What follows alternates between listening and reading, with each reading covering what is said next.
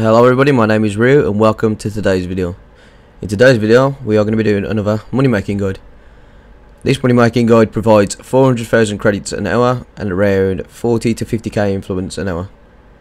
It's uh, quite an easy race, it takes around about 14 to 15 minutes depending on what car you use and it's, quite easy to get uh, get to in terms of your levels. You can start it at quite a low level, you don't really need to be a high level for this. This is just for people who are starting out and who need quick cash. Um, so basically it's called the Broadway Village Circuit as you can see on screen. This race is located right near the Horizon Festival.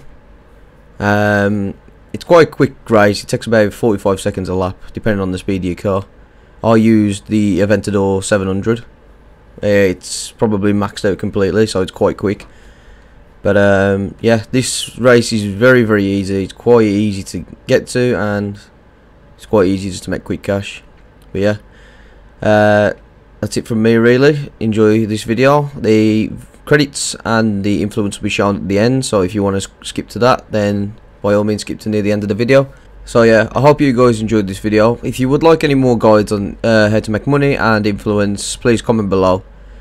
Um, I will post any guide that anybody needs in terms of what the fastest car is, tunes, cash, anything like that.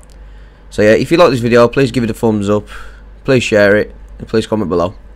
My name is Ryu, thanks for watching, and enjoy the rest of the video.